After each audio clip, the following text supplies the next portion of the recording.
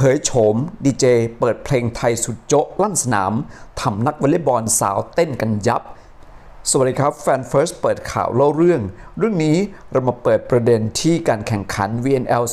2021 หลายคนอาจจะสงสัยนะครับว่าทำไมดีเจที่เปิดเพลงในสนามที่ประเทศอิตาลี ถึงได้รู้จักเพลงไทยที่มันมันโจ๊ะโจ๊ะทั้งนั้น เขาเป็นใครมาจากไหนดูได้ในคลิปนี้ก่อนไปฟังรายละเอียดจากข่าวฝากกดไลค์กดแชร์กดติดตาม และอย่าลืมสั่นกระดิ่งที่ช่องให้ด้วยนะครับ เพื่อเป็นกำลังใจให้กันและจะได้ไม่พลาด การแจ้งเตือนข่าวดีๆ ในครั้งหน้า เรามาฟังรายละเอียดจากข่าวกันครับ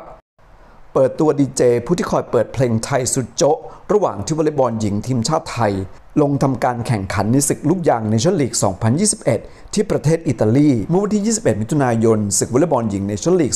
2021 ที่เมืองริมินีประเทศอิตาลี นอกเหนือจากการแข่งขันที่สุดแสนจะตื่นเต้นเร้าใจ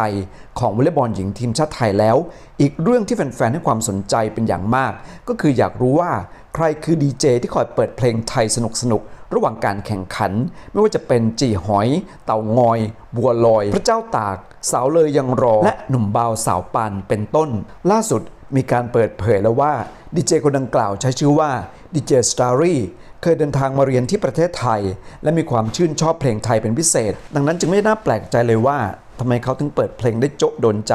จนทำให้นักตบลูกยางสาวไทย รวมถึงชาติอื่น ๆ ได้เต้นอย่างสนุกสนานระหว่างการแข่งขัน และเรามีคลิปจากอินสตาแกรมของวิลาวันมาให้ชมกันนะครับ I want to say hi to all uh, volleyball fans in Thailand and thank you for so many messages. I hope you enjoy everything and uh, Thailand, Su Su. เสียไปเองนะครับฮิลลารี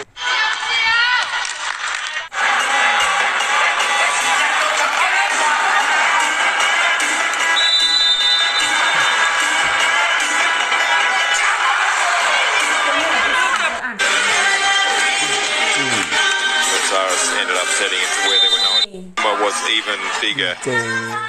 ขอขอบคุณคลิปภาพข่าวและเนื้อหาข่าวนี้จากอินสตาแกรมของวิลาวัน ไทยรัฐออนไลน์นะครับ และนี่ก็เป็นเรื่องที่พูดถึงกันในวงการของการแข่งขันกีฬาวอลเลย์บอลหญิงเนชั่นลีก 2021 ที่เพิ่งจบไป ซึ่งหลายคนอยากรู้จักกับดีเจที่เปิดเพลงในสนาม วันนี้ทางแอดมินก็เลยเอาคลิปนี้มาฝากกันนะครับ จะได้รู้จักกับตัวตนของดีเจผู้เปิดเพลงโจ๊ะโจ๊ะโดนใจทั้งนักกีฬาไทยและแฟนๆในสนามมาฝากกันนะครับ